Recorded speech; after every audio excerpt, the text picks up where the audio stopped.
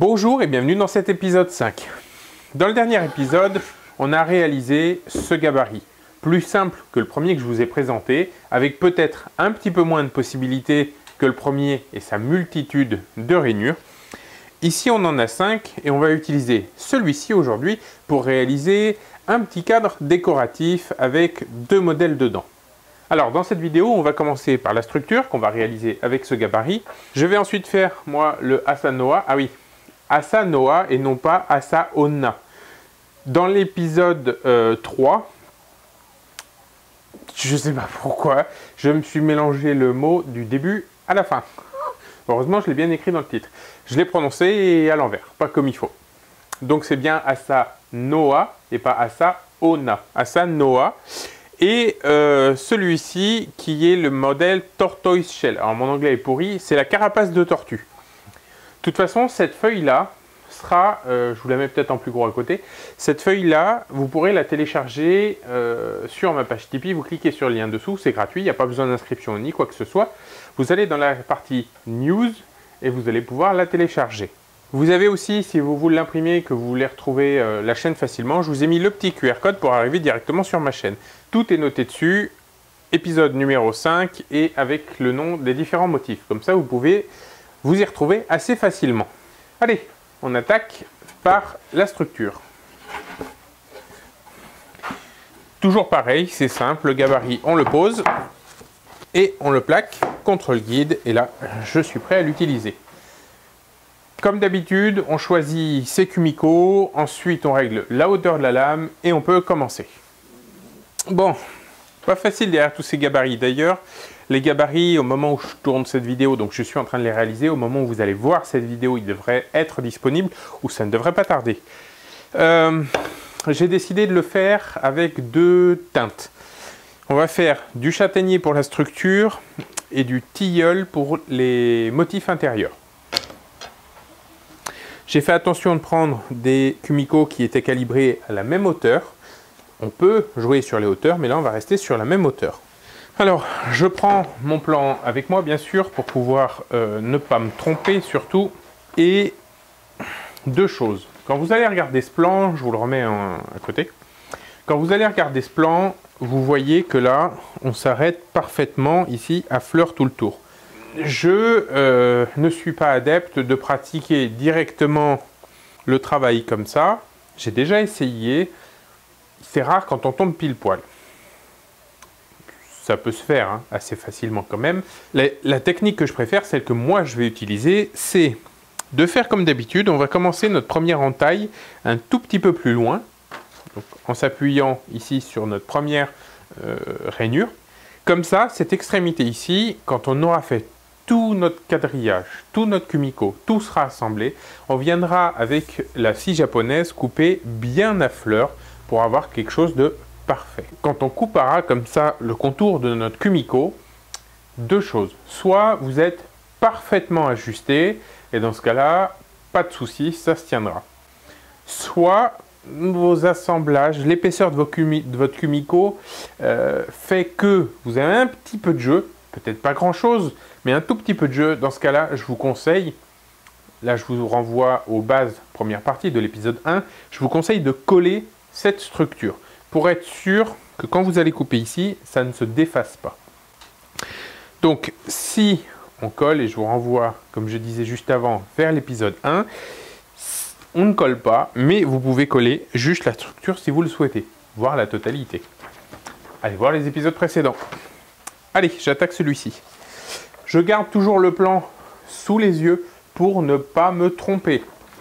Il est important que les, découpes ici soient égales ici et donc on va utiliser les mêmes repères systématiquement. Alors, je vous remets une fois de plus le petit dessin à côté et je voulais quand même préciser un tout petit truc. Le motif en carapace de tortue peut paraître simple, mais il est assez complexe. On reparlera des pièces quand on va y arriver tout à l'heure.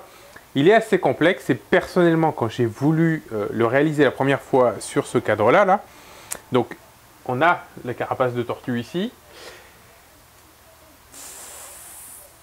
Il n'est pas facile à mettre en place. Il n'est pas compliqué, mais c'est pas le plus simple non plus. Allez, on le verra tout à l'heure. Je commence à couper. Le plan, les protections auditives et toutes les sécurités nécessaires. Euh, attention à vos doigts, toujours, j'ai pas mon crayon à papier. Il me manquait ça sous la main et pourtant c'est indispensable.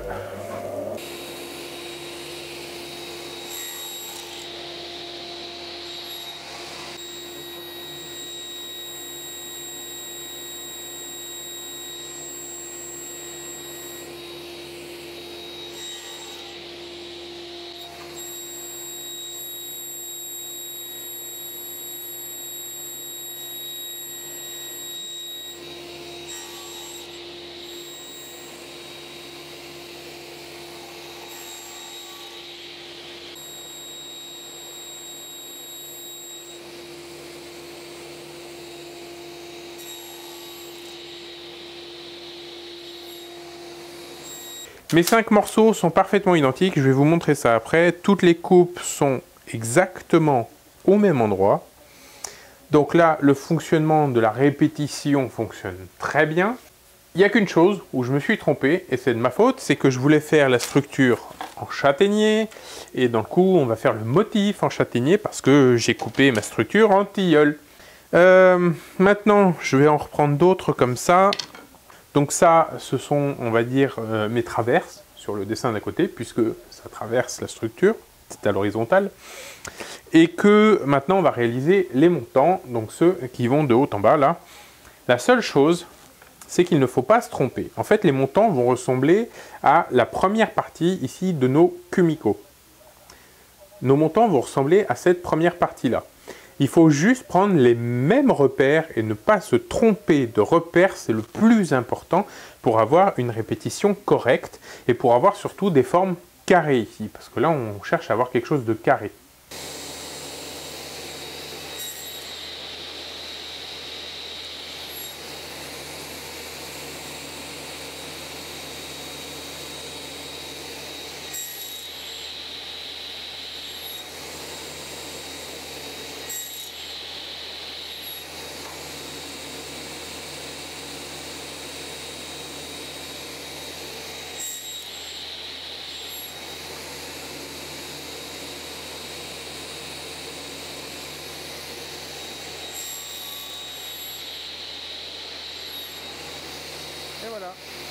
Alors quand vous les coupez, vous pouvez procéder de différentes façons. La première façon, c'est simple, c'est on les fait une par une. La seconde façon, je vous l'ai montré juste avant sur les grandes, c'est de faire par paquet. Du moment qu'ici, euh, votre ligne est bien parallèle à votre lame et que votre euh, butée, votre repère, euh, qui est issu en général d'un kumiko pour bien s'ajuster, est assez long pour prendre toutes les pièces en même temps, de souci. Attention quand même à bien les plaquer, qu'il n'y en ait pas une au milieu du tas qui remonte, parce que sinon sa coupe ne sera pas bonne. Ou alors vous pouvez procéder comme ici, c'est-à-dire que j'en fais un d'un côté et un autre de l'autre côté en même temps, et je les recoupe après. J'évite, quand c'est des petites pièces comme ça, de couper par gros paquets, parce qu'après ça me laisse plein de petites longueurs, alors que je préfère garder des grandes d'un côté et des petites de l'autre, plutôt que plusieurs petites.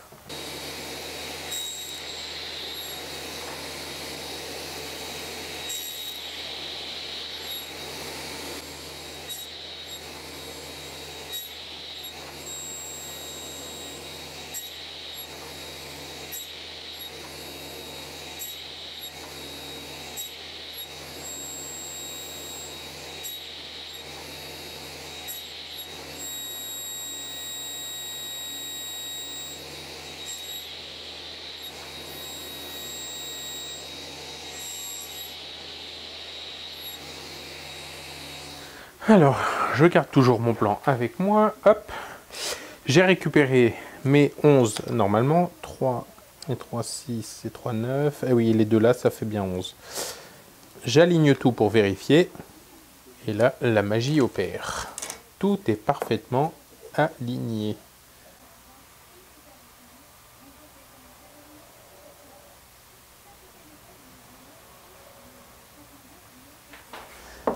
Alors, j'ai repris mon petit marteau au cas où j'en aurais besoin, et maintenant, j'ai plus qu'à, comme un puzzle, tout assembler.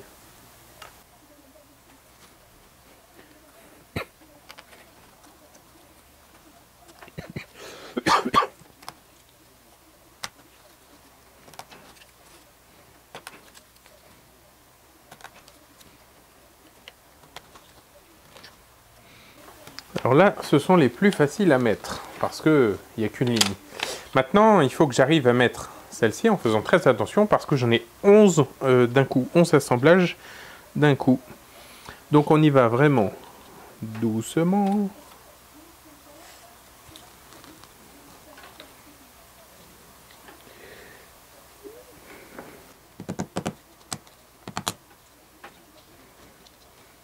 Toujours pareil, hein, on en revient toujours au même.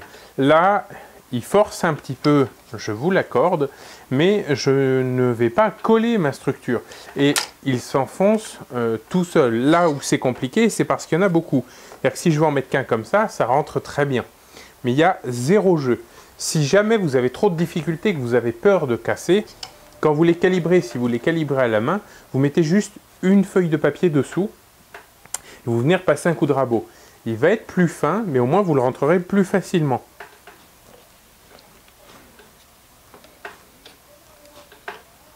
Même si vous voyez que ça a tendance à descendre assez facilement, vous voyez là c'est bien descendu mais pas au bout encore, je vais descendre le bout avant de descendre plus loin ici parce que sinon ça va casser. Vraiment quand on fait du Kumiko il faut prendre son temps. Et voilà, notre structure est faite. Ça a été rapide et puis de toute façon, plus vous allez en faire, plus ce sera rapide de fabriquer des structures comme celle-ci. Elle est parfaitement rigide, il n'y a rien qui bouge. Hein. Maintenant, je vais me faire très rapidement, moi, la Sanoa qui va ici au milieu. Et on va se retrouver aussitôt après pour la euh, carapace de tortue. Alors, je viens de finir mon, euh, ma partie Asanoa. Maintenant, on va faire la partie euh, écaille de tortue. Et là, il faut que je vous montre la pièce. En fait, il va y avoir que deux pièces. Deux types de pièces différents. On va avoir les parties comme ça. Là, on a notre case. Hop. On va avoir ces parties-là. Ces quatre pièces, ce sont les mêmes pièces. Et ici, une centrale la centrale, elle est facile. C'est des angles à 45 degrés, moitié-moitié de chaque côté. Donc ça, c'est le plus simple. Le plus complexe, donc c'est ces quatre pièces-là qui sont identiques. Fait, on va avoir d'un côté du 2 euh, tiers taillé avec un angle à 22,5 degrés. Et là, on retire toute cette zone-là. Sur le tiers de l'autre côté, ici, on va retirer avec un angle à 67,5 degrés. Et en bas, c'est l'inverse. C'est du 2 tiers, 1 tiers, mais à l'opposé. Ici, on a le 1 tiers ici, le 2 tiers là. Et en bas, c'est l'inverse. Et là, on va avoir du 67,5 degrés de chaque côté mais en deux tiers, un tiers.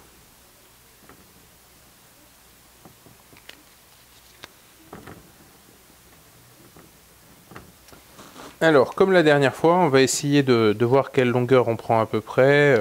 3 euh, cm, on est largement bon, on dépasse la moitié. Comme à chaque fois, on commence par réaliser deux pièces pour tester et voir ce que ça donne. Et ensuite, on fera toutes les autres en série.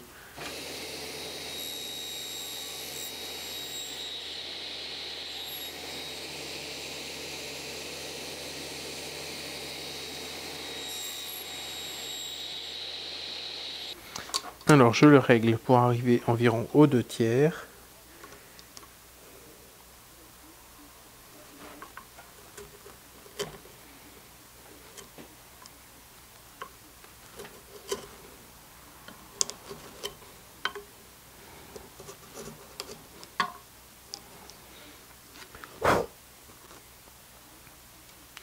Pour moi, visuellement, on est bien aux deux tiers, un tiers.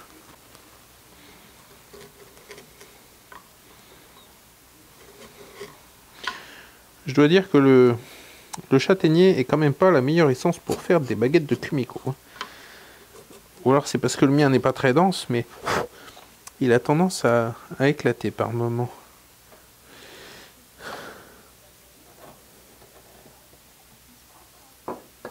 Alors, je vais essayer de voir ce que ça donne à peu près à la moitié. Et en fait, je vais marquer comme la dernière fois, sauf que là, il faudrait que je mesure pour être précis. Donc, je me mets visuellement, si vous n'êtes pas sûr de vous, vous mesurez. Je me mets un petit peu plus de la moitié, je marque, et en fait, je vais venir ajuster progressivement ma longueur avec le gabarit jusqu'à ce que ce soit parfait.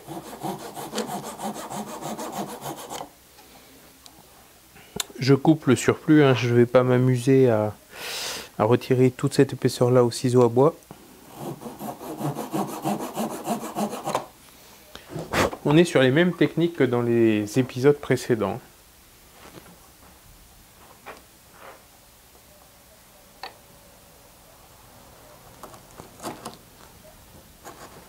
Alors je vais vous montrer en me mettant de ce côté-là.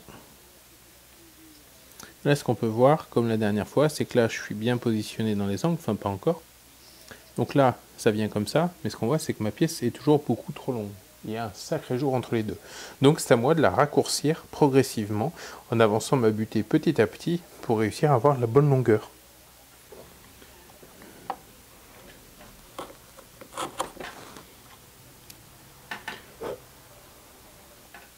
Le copeau à retirer là, pour finir d'ajuster, est extrêmement fin. Oui, je retire vraiment une très fine couche.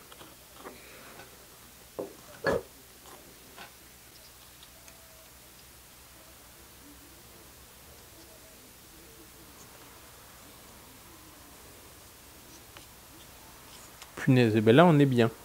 Là on est bien. Donc je vais pouvoir mesurer la longueur de mes pièces et toutes les couper. On est bien parce qu'en fait, dans les angles, je colle bien. Et ici, sous mon doigt, là, l'arête est propre. J'appuie un peu dessus pour la mettre en compression, comme si j'avais l'axe central, là, qui venait appuyer dessus. Alors là, j'ai fait cet angle-là. Et au lieu de retourner avec l'astuce de la carte de visite, aujourd'hui, je prends un deuxième gabarit. Je viens me le régler pour prendre les deux tiers. Alors, comme je veux pas abîmer mes pièces. Je vais me mettre à une certaine distance, commencer à le couper. Voir que là, je ne suis pas à mes deux tiers. Donc hop, je dévisse. J'avance encore un tout petit peu. Et je vais ajuster comme ça jusqu'à ce que j'ai ma bonne longueur. Et là, je suis bon. Alors maintenant, rien de compliqué, je mesure la longueur de mes pièces. Ici, elles font 23,5, donc on va faire 24 mm. Je les coupe et puis on se retrouve pour l'usinage. Alors, il m'en fallait 36, j'en ai fait 40. Et il faudra, faudra peut-être que j'en refasse un ou deux. J'en ai fait un peu plus parce que j'ai beaucoup plus d'arrachement sur le châtaignier. Euh, est-ce que ça vient de cette planche parce que je l'avais gardée de côté exclusivement pour moi parce qu'elle n'est pas, euh, elle n'était pas jolie celle-ci et euh, il n'est pas terrible je trouve.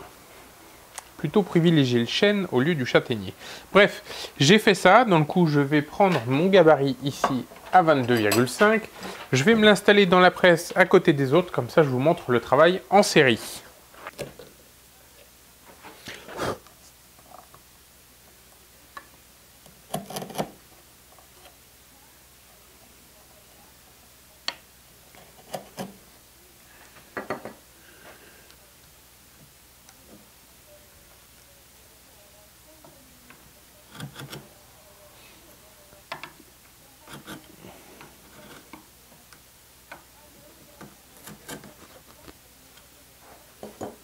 Et là, il me reste plus qu'à le faire 36 fois ça.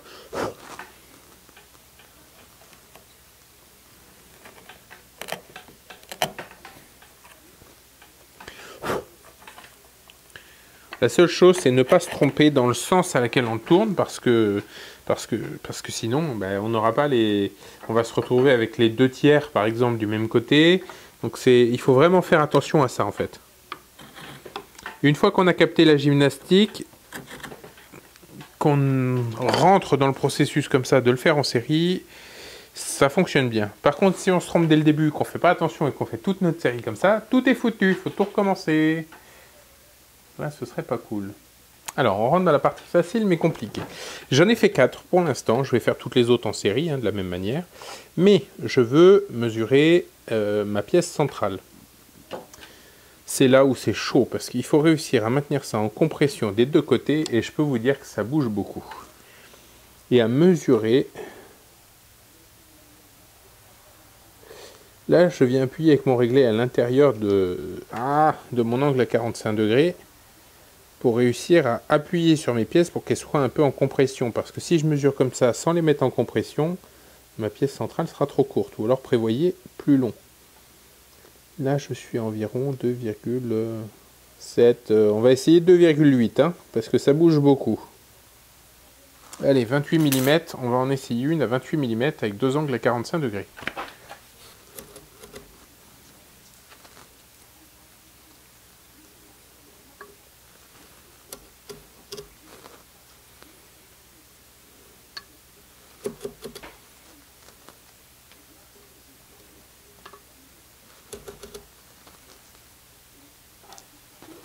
Alors, c'est là où c'est compliqué parce qu'il faut réussir à maintenir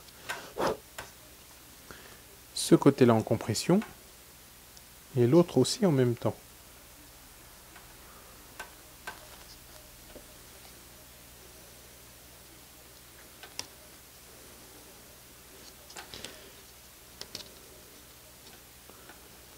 Et voilà, alors bien équilibré, comme le Asanoa, pareil, on équilibre bien nos pièces, et c'est bon.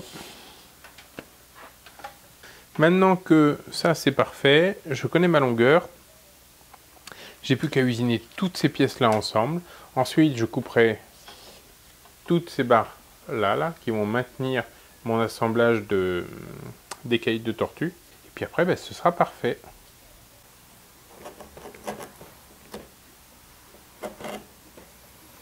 Alors quand je dis qu'il faut un affûtage irréprochable, il faut un affûtage irréprochable. Et c'est encore pire avec le châtaignier, je trouve.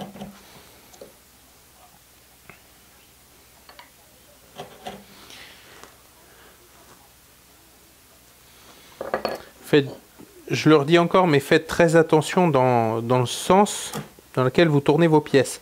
Parce que si vous vous trompez, vous avez tout à recommencer.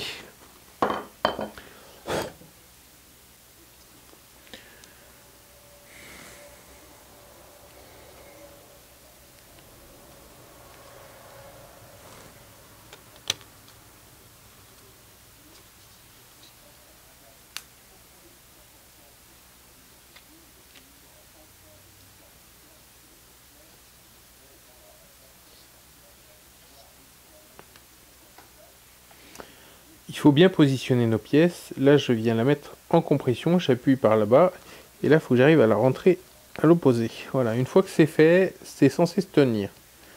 Attention tout de même, parce que là, donc, elle y est. Ah, je l'ai mis dans le mauvais sens, là, il y a un petit arrachement. Oui, là, c'est plus joli.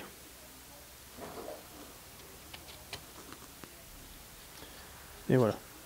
Donc attention tout de même parce que les pièces peuvent bouger ici et là comme le Hassanois. Il paraît très simple, mais il est compliqué et il est un peu casse-pied. Je dois dire que parmi tous ceux que j'ai fait, même en comptant ceux qui sont ici, là, euh, donc plus complexes, ceux-là, euh, ils sont vraiment compliqués parce que c'est une vraie gymnastique au niveau de, l'esprit pour pas se tromper au niveau des angles. Et après, bon, ça se fait bien. Bon, et s'il y a une chose à retenir, c'est éviter le châtaignier. Moi, je n'ai déjà préparé un petit lot, tant pis. Je le passerai. Euh, mais j'ai tendance à avoir de l'arrachement, même avec des outils parfaitement tranchants. Il y a des parties qui ont tendance à partir. Alors, je sais que ce lot de châtaignier que j'avais acheté il y a un petit moment de ça n'était pas terrible au niveau densité. C'est celui qui avait eu, qui a euh, aussi de la roulure. Donc, je sais, il n'est pas terrible. Il faudrait que je teste avec du joli châtaignier. Euh, mais honnêtement, prenez du chêne parce que le chêne est plus dense et que ça fonctionnera mieux. Là, il est fait. Maintenant, ce qu'il me reste à faire, parce que pour correspondre à mon plan, il me faut ma scie, une petite scie japonaise, et là je vais pouvoir venir entailler tous ces petits côtés. Une fois que ça c'est fait, que vous avez taillé à la scie, il vous reste juste à prendre votre ciseau et à venir tout mettre à fleur. Hop, je vous le pose là parce que ça ressort bien. Celui-ci, vraiment, il est compliqué. Euh, je le répète, hein. Il n'est pas facile, mais c'est aussi comme ça qu'on apprend. Et ça permet d'avoir cette petite gymnastique des angles et de bien savoir comment les faire. Donc prenez le temps, gardez le plan à côté. Dans celui que vous allez télécharger, vous, il y aura la pièce dessous, là, euh, qui sera agrandie en gros plan, celle qui est la plus compliquée. Et après, bah, vous pouvez lui faire un joli encadrement comme ça. Euh, si vous voulez voir, bah, allez voir cette vidéo-là. Je vous mets le lien dans le petit là-haut. Et vous pouvez lui faire le même type d'encadrement que ça. On verra dans de futures vidéos euh, des créations avec des beaux encadrements, avec des beaux assemblages japonais aussi. Bon et bien voilà, j'espère que cet épisode vous aura plu et on se retrouve la semaine prochaine pour une nouvelle vidéo. Salut